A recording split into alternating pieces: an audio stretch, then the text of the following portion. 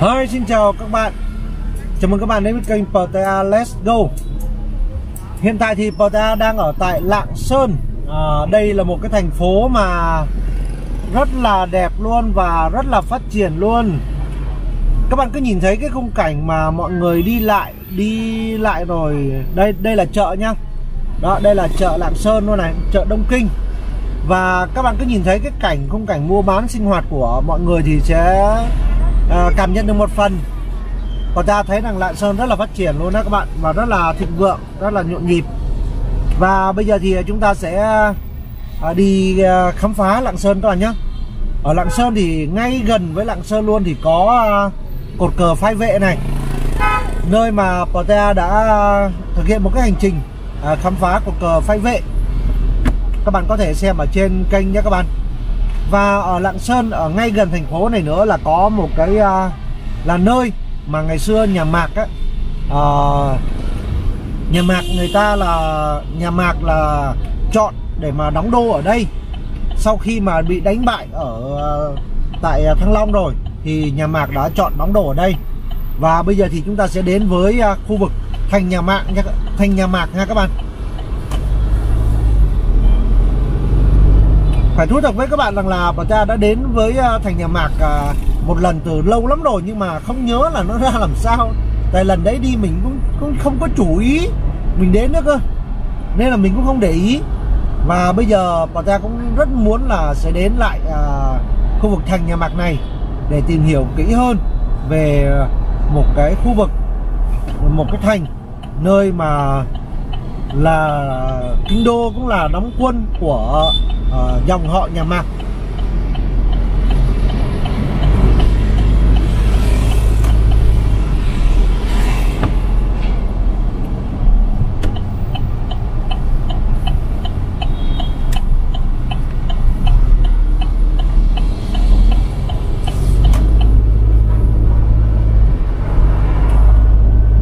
Ở ngay khu vực chợ Đông Kinh đó chính là khu vực của cột cờ phai vệ nha các bạn. Và cột cờ Phai vệ là một cái cột cờ mà uh, các bạn biết không là các bạn có thể uh, đi đến đó và đứng ở trên cái cột cờ ấy trên cái đỉnh núi đó trên cái cột cờ các bạn có thể nhìn được toàn cảnh của Lạng Sơn luôn rất là đẹp rất là tuyệt vời. Và từ đó thì ờ, các bạn cũng có thể nhìn ra được uh, khu vực của thành nhà mạc này.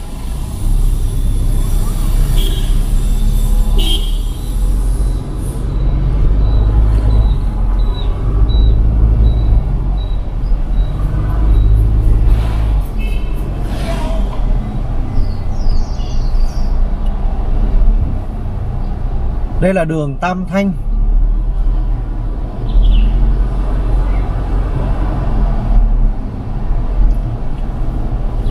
Ngày xưa người ta có mấy cái câu là Đồng Đăng có phố Kỳ Lừa Có nàng Tô Thị Có chùa Tam Thanh. Thì à, tất cả những cái uh, uh, nàng Tô Thị này Chùa Tam Thanh này Phố Kỳ Lừa này Đều đã được đưa về thành phố Lạng Sơn mới này ha các bạn và ở tại Đồng Đăng thì không còn nữa. Và cái nguyên nhân thì bà ta cũng chẳng biết là vì đâu đâu nhưng mà bà ta chỉ chỉ biết là như thế thôi.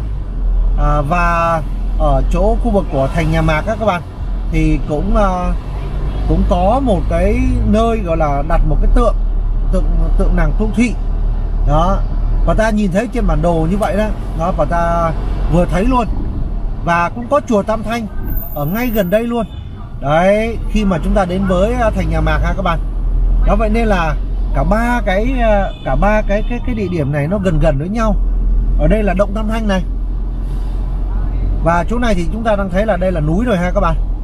Đó, và chùa tam thanh là phía trước của chúng ta các bạn. Một cái ngôi chùa mà mọi người cũng rất là hay đến. Một khi mà đến với lạng sơn, đó là chùa tam thanh. Còn cái đường chúng ta đang đi đây này các bạn này, là đường tam thanh đó. Còn sắp tới chúng ta sẽ quẹo vô đường, có tên là đường Tô Thị.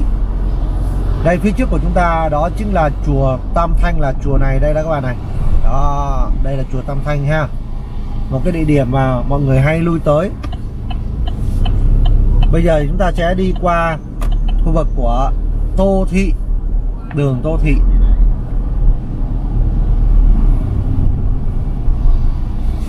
Đây, đường tô thị ở đây đây. Và thành nhà mạc ở đâu? Đây chứ nhờ đây đúng không ta? Chắc phải hỏi người dân thôi. À kia hả? Ờ đúng là kia kia kia kia. Đúng rồi các bạn. Có một cái uh, bà ta đã nhìn thấy được cái tượng uh, núi tô thị rồi.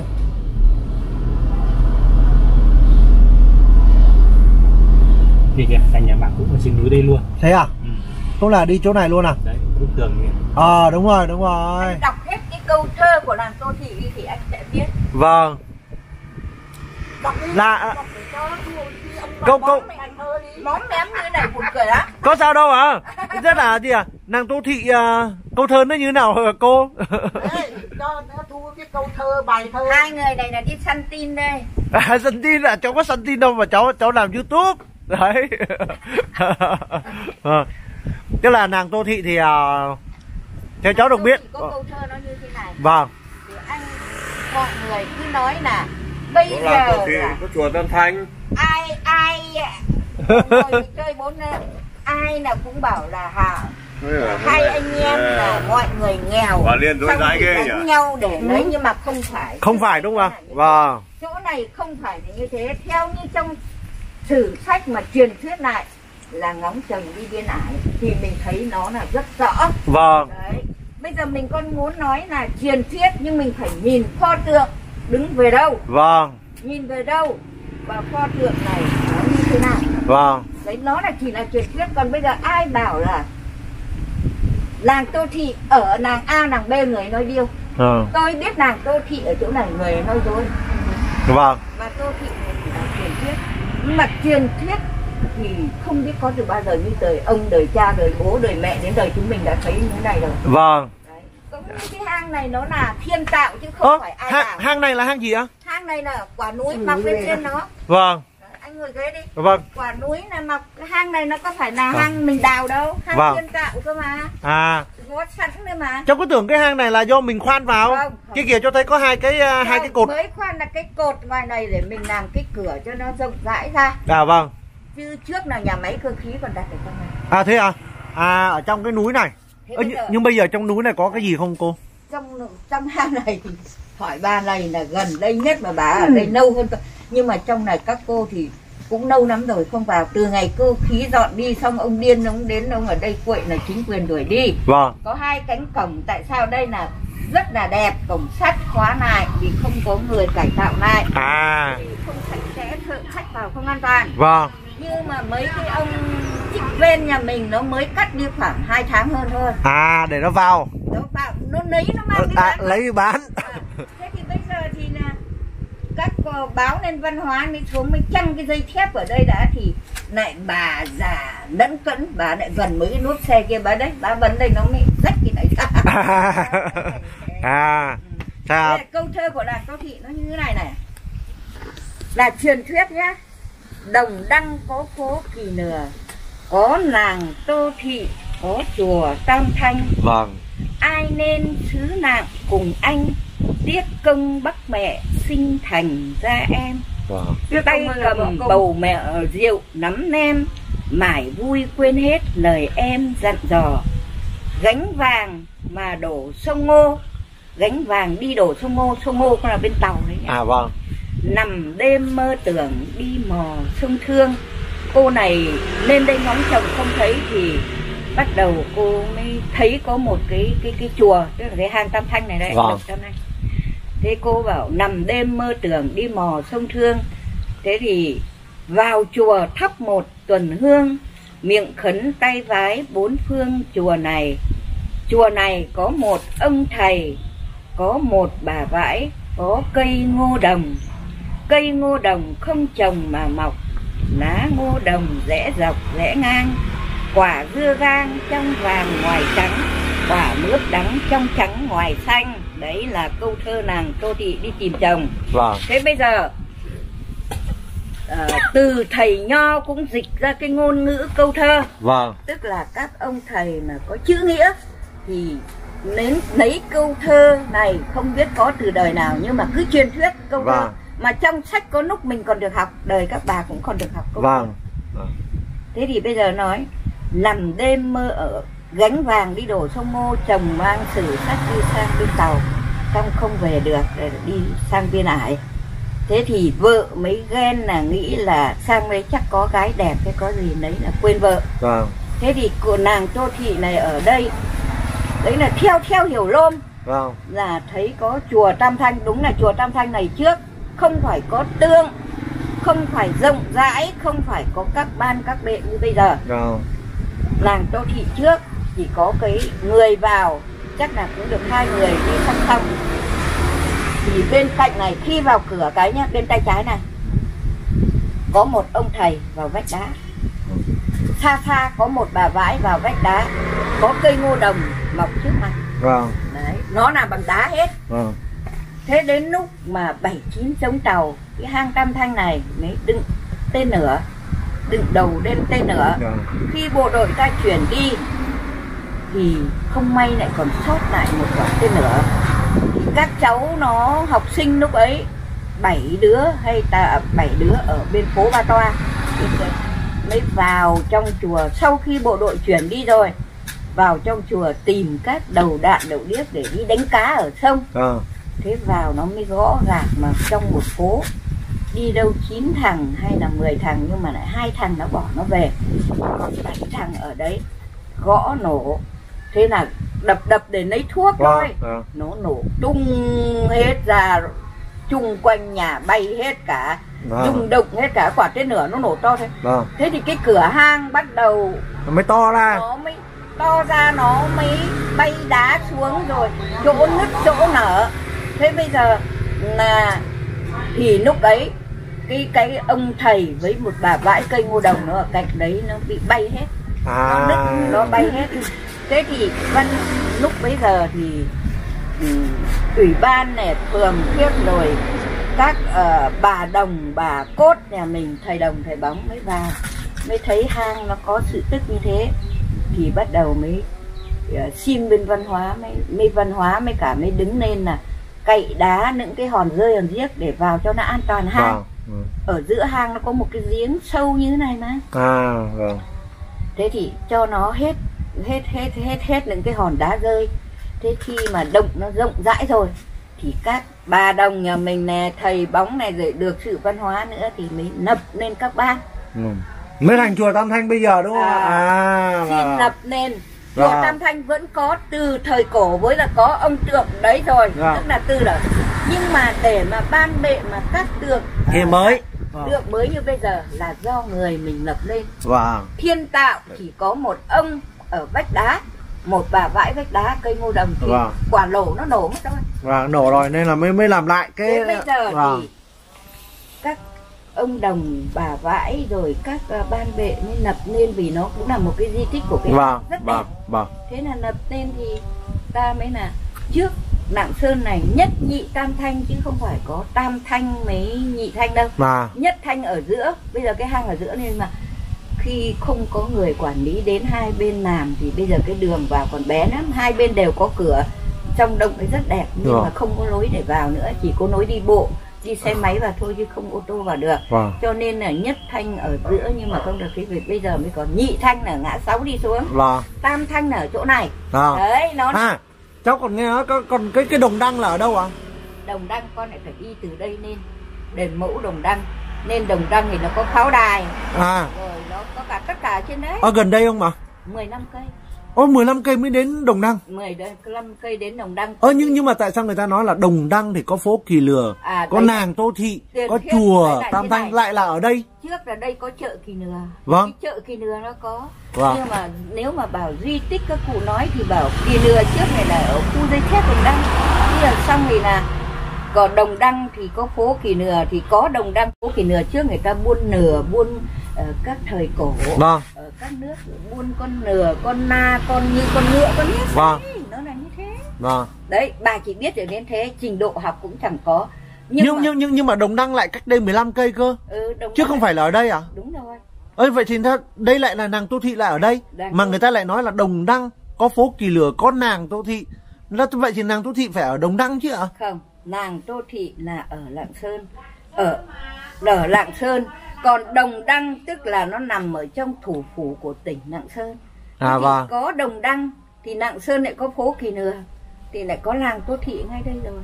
Mà kỳ nừa là trước cái chợ ở trên này là họ bán nừa bán Vâng, con trâu, con bán hiểu. đấy. Đấy tại tại vì con con con cứ nghĩ là Đồng Đăng là ở đây mới đúng Đồng Đăng là cách đây 15 cây Không, thì chỗ đấy nó lại có phố Kỳ Lừa, nó có nàng Tô Thị, nó có chùa Tam tức Thanh. là nó liền khu để nói lên một vần thơ đồng đăng lạng sơn là mới để nói nên để dịch lại thôi nó Vâng. cổ kính của nó là đồng đăng có phố kỳ À.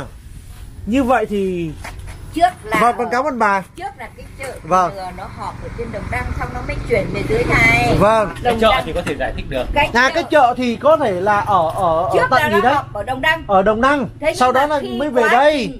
ở đồng Rồi. đăng không thuận tiện người ta về đến Vâng. nừa này người ta mới họp chợ Vâng. thì mới đưa về đây Ờ thế còn còn Ông còn chỗ còn à, cái nàng Tô Thị lại ở Đồng Đăng cơ mà. không nàng tô thị ở lạng sơn này từ cổ chí kim mới À. đằng sau này ở Khó Đồng hiểu Đăng.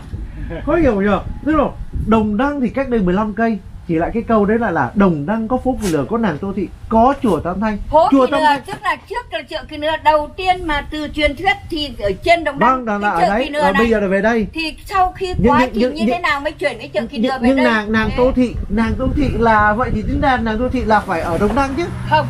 Là ở đây. Làng tô thị từ cổ chí kim từ Là ở đây. từ đời này qua đời khác. Anh muốn nước trà đá đá hay trà nóng Rồi rồi rồi chùa Tam Thanh. Chùa Tam Thanh cũng ở đây luôn. Như vậy thì Đồng Đăng không thể gọi là có chùa Tam Thanh được đúng không? làm sao là đồng đăng có chùa tam thanh được? Ô lạ nhờ. Chùa tam thanh là phải ở lạng sơn. Như vậy cái câu đấy là cái ông nào ông chế ra chứ. Là làm làm mình loạn hết cả đầu đây này. Đúng không các bạn? Như vậy- Như vậy đúng không chú cháu, cháu thấy cháu hiểu là Cái câu là Đồng Đăng có phố kỳ lược có nàng Tô Thị Có chùa Tam Thanh. Vậy Mà thì nàng Tô Thị Nàng Tô Thị và chùa Tam Thanh thì rõ ràng ở đây rồi. Ờ. Ở Lạng Sơn cách 15 km cơ mà. Ừ. So với Đồng Đăng cơ mà. Thế thì trên Vâng. đồng đăng đồng đăng trước. Vâng. có cái chợ nó ở đấy. Ơi cháu cảm ơn nhá. Bây giờ anh em mình đi lên đi. À, rõ ràng các, các, các, các bạn à, đúng không ạ? À, chắc có lẽ là chúng ta phải quay trở lại với cái thời gian trước. Lúc đó là thành phố Lạng Sơn là chưa có và và lúc đó người ta chỉ biết là có đồng đăng thôi. Đồng đăng thôi. Nên là mới có cái câu là đồng đăng có phố kỳ lửa có nàng tô thị có chùa tam thanh phải không các bạn? Thì lúc đó là đồng đăng là một cái nơi ở biên giới mà nó nó nổi tiếng. Đó nên là nên là nó bao trọn cả cái khu này luôn. Nên người ta mới nói là nàng tô thị chùa tam thanh là ở đồng đăng ha các bạn. Ok.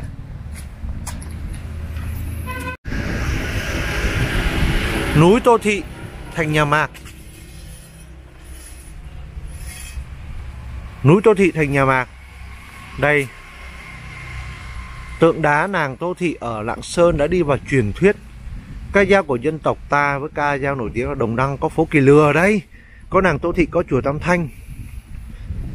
Truyền thuyết về sự tích nàng thơ tự nàng tô thị có nhiều dị bản khác nhau.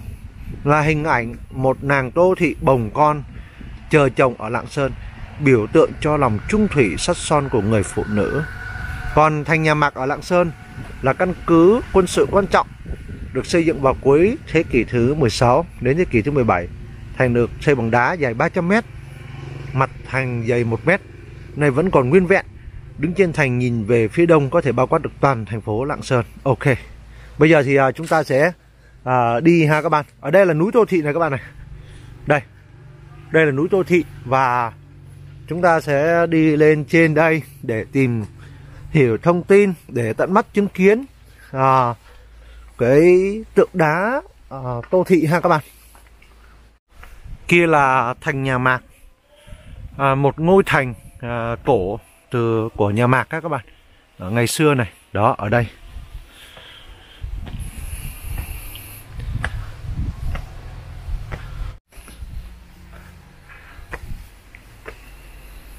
Đây là bức tường thành của nhà mạc và ngày xưa thì à, nhà Mạc mà tức là Mạc Đăng Doanh đó các bạn. À, sau khi mà à, bị thất thủ và ông đã rút lên chỗ à, Lạng Sơn này để mà xây à, ông đã rút lên đây và xây cái à, cái thành này. Ở đây và ta nhìn thấy một đoạn. Đây cái này là cái cổng thành này các bạn này cái cửa ra vào. Ở trên đây có mấy cái lỗ bé bé. Có lẽ là lỗ châu mai à. Trên này có những cái uh, chỗ để mà có thể uh, nhìn ra bên ngoài. Và chúng ta đang bước vào đây tức là bước vào phía trong của thành nhà mạc rồi. Bây giờ thì uh, chúng ta đã đứng ở phía trong của khu vực thành nhà mạc cái thành nhà mạc này các bạn là có một cái đặc điểm rất là đặc biệt đó là một ngôi thành được uh, sử dụng ngay cái thế núi. Và người ta chỉ xây một đoạn uh, một đoạn tường thành thôi uh, nối giữa uh, hai cái quả núi lại. Và toàn bộ cái khu thành này sử dụng núi là tường thành.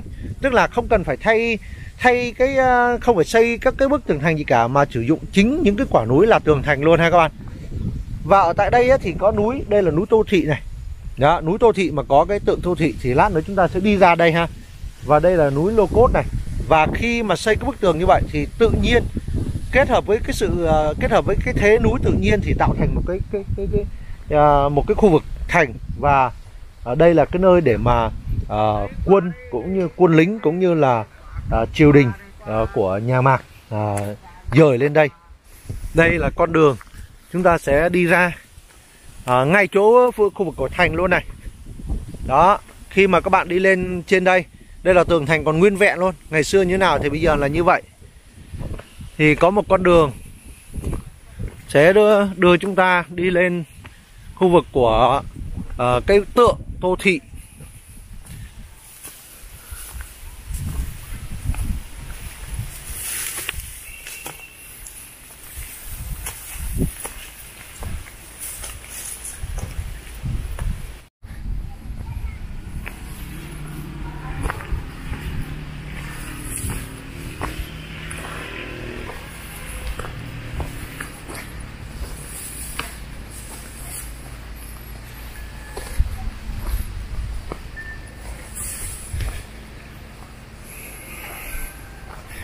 Đây rồi các bạn.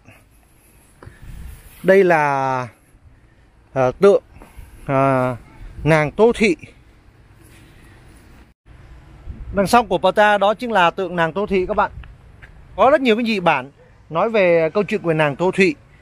À, Có một cái dị bản nói rằng là nàng Tô Thị ấy, các bạn là à, hai anh em lấy nhau nhưng mà không biết nhau là là, là hai anh em. Và sau đó người chồng là biết rồi á, thì mới bỏ đi và nàng Tô Thị thì à, đứng ở đây và à, bồng con chờ chồng mà hóa đá. Nhưng mà người dân ở đây thì lại có một cái câu chuyện khác. Đó là cái câu chuyện đây là một người phụ nữ đã đứng đây và à, đứng đây và chờ chồng khi mà chồng là đi à, chiến đấu ở nơi phương xa. Vì cái chỗ này cái chỗ này này các bạn là cái vị trí mà hướng ra là hướng ra phía bắc tức là đi ra biên ải và và đi ra ngoài đó chiến đấu để bảo vệ uh, tổ quốc. Nên là và rồi mãi lại không về. À, người vợ thì rất là thương tiếc à, và người vợ thì rất là trung thủy trung thủy nhá. Nên là đứng à, ôm con à, ngày nào cũng ra đây đứng ôm con chờ mãi chờ mãi chờ mãi. Và rồi à, ông trời thấy thương và cuối cùng là cho nàng hóa đá để chờ chờ chồng ở đây đó đấy là cái truyền thuyết kể lại như vậy. Còn à, chúng ta là bây giờ thì chúng ta là khoa học thì chúng ta sẽ à, sẽ giải thích theo một cái hướng khác. Tất cả những cái câu chuyện đó thì chỉ là truyền thuyết thôi. Thực ra tất cả mọi thì các bạn có thể thấy đây đây là một cái à, tượng đá. Nhưng cái tượng đá này cũng không còn nguyên vẹn đâu các bạn. Tượng đá này đã được xây lại hoàn toàn. Đây là tượng đá hoàn toàn. Còn à, cái à, cái tượng đá cũ các bạn thì theo như bọn ta tìm hiểu thì nó đã bị à, bị vỡ rồi, nó bị vỡ. Và trước đây ở tại khu vực này có hai người đã bị à, đổ oan, đã bị đổ cho là lên đây đập cái tượng à, tô thị. Đó. Nên là đã bị à, bị phạt và bị bị phạt oan đấy các bạn. Đó, và bị bắt đi tù. Nhưng nếu mà chúng ta chúng ta có thể hiểu một điều nào này. Với bà ta thì bà ta có thể hiểu rằng là thực ra một cái tượng nếu ngày xưa là cái tượng đá như kia ha cái tượng đá như thế này thì một cái đá này nó rất là yếu ớt thôi các bạn. Nó chỉ là một cái cái cái cái mỏm đá nó nhô lên thôi. Phật ta đã đi đến với Hà Giang và tìm hiểu về à, một cái hiện tượng người ta gọi là hiện tượng cát hóa hay cái hiện tượng đó có thể à, nói một cái cho dễ hiểu đó là hiện tượng bào mòn đá chúng ta nghĩ rằng đá thì không có bị bào mòn nhưng không phải các bạn ạ. À, đá thì thế qua thời tiết là một này và qua gió này rồi nắng thì nó bị à, à, co lại rồi nở ra nó làm cho đá bị nứt. Và à, một cái à, mỏm đá nếu ngày xưa nó có nó chỉ mảnh khảnh như thế này thôi thì với cái sự chúng với cái sự à, tác động của tự nhiên chắc chắn là nó cũng sẽ bị vỡ ra và cũng thật là dễ hiểu khi mà à, ngày xưa cái tượng này nó đã bị vỡ nó đã bị đổ xuống. Đó nó đã bị đổ xuống và có hai người ở đây đã bị à, vu oan cho là lên đây đập cái tượng đá này xuống à, thì thì như bà ta vừa chia sẻ với các bạn đó thì thời tiết đấy là chỉ cần nhiệt độ lạnh ở đây có thể là không độ. Sau đó tăng lên thành uh, 20 30 độ thì nhiệt độ nó chênh lệch quá lớn nó làm cho đá nó nứt ra dần dần và hiện tượng đó là cát xóa. Các bạn có thể nhìn thấy những cái mỏm đá ở đây này. Đây là những mỏm đá tay mèo rồi này. Đó nó rất là sắc là do là do thiên nhiên nó bào đó các bạn. Đó chỉ cần là gió này nắng này thời tiết này nhiệt độ này mưa này đó là những cái yếu tố đó nó, nó sẽ tác động lên viên đá. Nó sẽ tác động lên cái tảng đá và nó làm cho tảng đá bị vỡ ra. Thì cái chỗ của nàng tô thị này cũng vậy thôi ha các bạn. Đó thì cái chỗ chúng ta có thể rất là dễ hiểu về cái việc là cái cái nỗi oan của hai cái người mà đã đến đây à, và bị vu oan cho là đập đập cái tượng à, của nàng tô thị này chúng ta giải thích một cách khoa học là như vậy chứ không có cái gì là là là mờ ám ở đây hết ha các bạn ha rất là dễ hiểu không có gì khó cả ha các bạn. Rồi và đó là nàng tô thị. Bỏ qua hết những cái câu chuyện à, những cái vụ án oan về bức tượng của nàng tô thị ở tại đây và cũng bỏ qua luôn cả cái câu chuyện à, à, trong cái truyền thuyết về nàng tô thị thì chúng ta có thể thấy ở đây là một cái vẻ đẹp. Cái vẻ đẹp à, của một cái sự trung thủy mà người ta muốn đề cao lên và đặc biệt nữa là một cái vẻ đẹp của cái không gian ở nơi đây quá đẹp.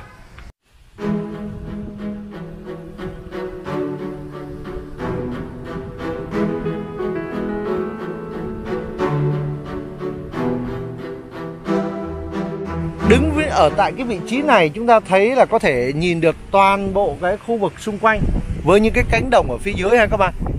Và với một cái tảng đá nhô lên như vậy, với dáng hình của một người phụ nữ đang ôm con, nên chắc là rồi người ta mới à, gọi là tức cảnh sinh tình, tức cảnh sinh ý tưởng. Đó là cái suy nghĩ của mọi người nó bắt đầu nó phải bay xa.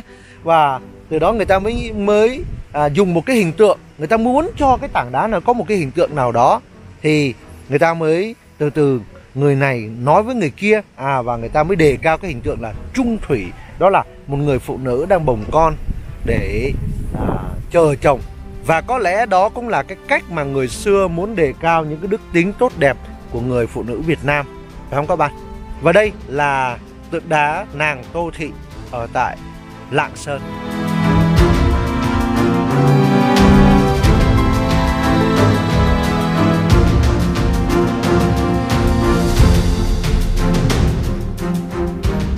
Nhìn ở tại cái đỉnh của nàng Tô Thị thì các bạn có thể thấy bên kia là nhị Tam Thanh là một cái khu danh thắng. Ở bên đó ở nơi đó bên đó thì có một cái động. Ở trong đó ha các bạn. Còn à, bây giờ chúng ta sẽ à, nhìn lại ở đây. Thì các bạn hãy coi coi. Ở đây là một bức thành. Nhìn ở trên cao này nhìn xuống thì thấy rõ ràng. À, một bức thành được xây dựng để nối hai cái quả núi lại và đây là một cái quả núi giống như là một cái tường thành tự nhiên rồi. Cái này thì khỏi phải trèo leo gì hết. Và bên đây cũng vậy Các bạn thấy là một quả núi rất là cao Nơi mà anh Thành đang đứng này. Đó cũng rất là cao như thế này. Vậy thì ờ, nó tự nhiên nó thành một cái cái cái cái cái tường thành. Và bây giờ chỉ cần xây một cái đoạn núi là một cái tường thành mỏng thôi là cũng đủ để trở thành một cái bức tường thành kiên cố để uh, khó mà có thể là xâm nhập vào đây được ha các bạn. Các bạn thấy không? Đây này đó, đây là bức thành tường thành. Và đây là bức tường thành được xây dựng còn nguyên vẹn tới bây giờ từ cái thời nhà Mạc ha các bạn, thế kỷ thứ 16 và đứng ở đây thì chúng ta có thể nhìn thấy kia, bên kia cả, là có một cái hành lang, bên này có một cái hành lang.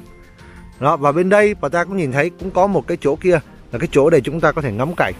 Bây giờ chúng ta sẽ chọn một trong ba địa điểm này để chúng ta đi lên nhỉ? Anh thành thấy địa điểm nào được? Chỗ nào để có thể ngắm được à, toàn bộ à, lạng sơn nhỉ? Kia kìa chắc, là chỗ này nhá bây giờ chúng ta sẽ đi lên đây ha các bạn ở đây có một tấm bia ờ, cho chúng ta thông tin về thành nhà mạc này vào cuối thế kỷ thứ 16, nhà Mạc chạy lên cắt cứ tại các tỉnh miền núi phía Bắc. Nhà Mạc đã cho xây dựng thành này để làm căn cứ chống lại tập đoàn phong kiến Lê Trịnh. Tức là sau khi mà thua uh, nhà Lê và Trịnh thì uh, nhà Lê và chú Trịnh thì nhà Mạc đã cho xây dựng cái thành này. Đây là di tích kiến trúc quân sự phản ánh một thời kỳ biến động của lịch sử chế độ phong kiến Việt Nam suốt từ thế kỷ thứ 16 đến giữa thế kỷ thứ à, 17 Năm 1962, di tích lịch sử Thành Nhà Mạc được xếp hạng à, di tích quốc gia. Ở đây khá là gió ha các bạn. Bây giờ thì chúng ta sẽ đi lên à, cái đỉnh núi này để chúng ta à, có thể nhìn thấy được toàn bộ à, phía xung quanh. À bên kia bà ta thấy có một cái tường thành nữa kìa. Wow. Oh. Tô bún buổi sáng nay chắc là hết rồi các bạn ơi. Bà ta hồi sáng vừa ăn tô bún mà lên tới đây. Hết rồi. Nhưng mà các bạn coi coi, Đẹp chưa? Đứng đây có thể nhìn thấy toàn cảnh Ở tại Hạ Long này các bạn. Ơ, quên, Ở tại Lạng Sơn này các bạn. Lạng Sơn nhá, Lạng Sơn nhá. Bên kia là cái núi Tô Thị cả Bên đây có một cái đỉnh này. Ở bên này à, Chúng ta sẽ đi lên trên đây. Còn một đoạn nữa là lên tới đỉnh rồi.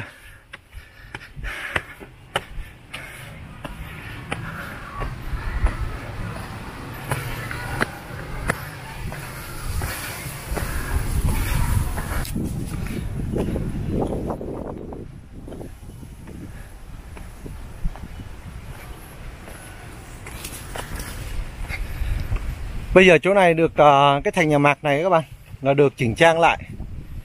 Rất là đẹp luôn. Còn uh, cầu thang thì uh, được làm bậc như thế này đi rất là dễ. Dễ đi. Còn chút nữa là chúng ta sẽ đến đỉnh ha các bạn. Wow! Wow! Wow! Wow về wow! Qua đây nhìn đi. Này các bạn này. Đó luôn. Wow!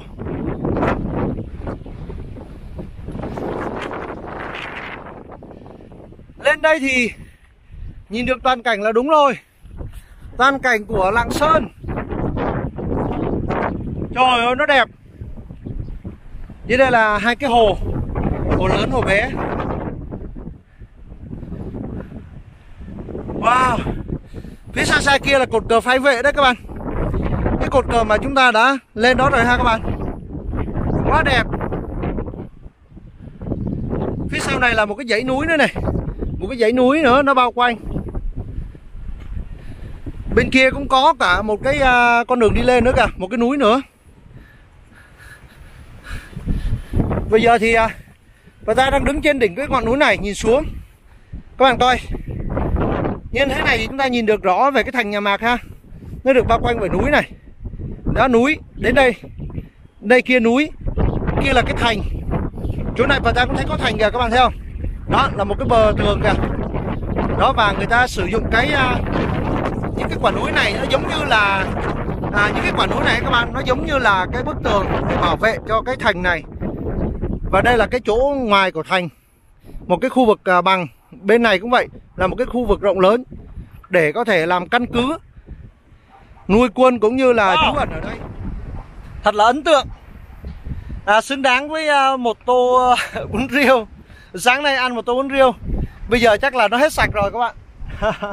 Nhưng mà leo một cái đoạn nó ngắn thôi không có quá là khó đâu các bạn. Và bây giờ đã làm ờ, người ta ở đây đã làm tất cả là bậc thang cho chúng ta đi rồi rất là dễ. Và khi mà lên đến đây thì các bạn ờ, chắc chắn luôn các bạn sẽ cảm thấy rất là hài lòng. Vì ờ, vài cái giọt mồ hôi thôi. À, chúng ta đổ ra để mà chúng ta có được cái khung cảnh quá đẹp quá đối là đẹp luôn ha các bạn? Yeah! Bây giờ thì chúng ta hãy nhìn ngắm cái khung cảnh này đi các bạn quá đẹp luôn. Một thành phố Lạng Sơn đang là rất là phát triển với những cái ngôi nhà mái ngói mái tôn. Wow! Và thật là hữu tình luôn. Đây là cái đồng bằng này. À, cái thung lũng nhỏ này. Phía sau của núi đô thị này. Đó và thành nhà mạc đây. Quá hay. Quá đẹp nha các bạn. Xa xa đó là cột cờ phai vệ kìa đó trời ơi đẹp quá. Đằng sau đây là cả một cái dãy núi nữa rất là đẹp luôn các bạn ạ. Đứng nhìn à, đứng ở đây có thể nhìn được toàn bộ cái khung cảnh với một cái view quá đẹp quá đã luôn. Yeah! Quá đã luôn. Woo! và không chỉ được tìm hiểu về một cái giai đoạn lịch sử ở tại à, Việt Nam chúng ta ờ, một giai đoạn à, phong kiến và đến đây thì được uh, nhìn thấy một cái công trình kiến trúc quân sự của nhà Mạc. À, một à, chế độ đã một cái dòng họ ha đã chuyển về đây để lập cái căn cứ chống lại nhà Lê và Trịnh. Đó và đây là bức thành của họ này. Đây đây là bức tường thành của nhà Mạc ở đây. À, đến đây còn lại được à, tìm hiểu về một cái sự tích à, về một cái tượng đá biểu trưng cho sự trung thủy cho lòng trung thủy của người phụ nữ Việt Nam.